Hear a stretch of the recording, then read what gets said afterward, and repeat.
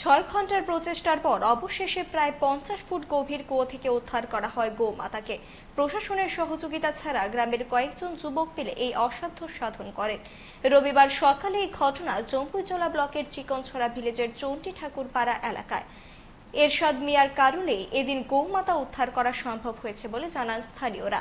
তারাও এরশাদকে যথাসম্ভব সাহায্য করেন। এদিন কোনো কারণে সেই গবাদি পশু কুয়োতে পড়ে যায়। সকাল থেকে গ্রামের সবাই কুয়োর সামনে ভিড় করে রাখেন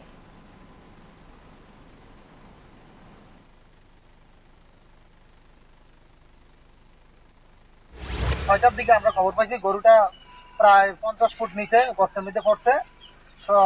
সকাল ছয়টার দিকে আমরা গরুটা, তারপরে জানাইছি, ফায়ার সার্ভিস জানাইছি ফরেস্টের জানাইছি কেউ আওতা নাই, কেউ আমরা দায়িত্ব অজুহাত দিয়া সব দিতে হয়ে গেছে। দেখতেছি গর্তের ভিতরে একবার আমাদের আসাদ ভাই নাম ছিল, নাইমা তাই না আবার উঠে পড়ছে। টেবিল ফ্যান দুইটা ইউজ করছি অক্সিজেনটা যে, আবার দিয়ে সেটাও রাজি হয় না।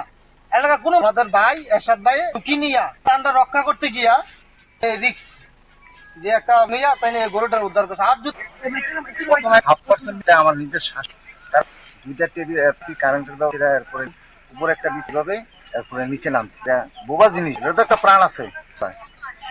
কেউ নামে না নিচে নামছি। অনেকের সহযোগিতা করছে। কইরই জীবন বাঁচতাম পারছি কেমন বাসে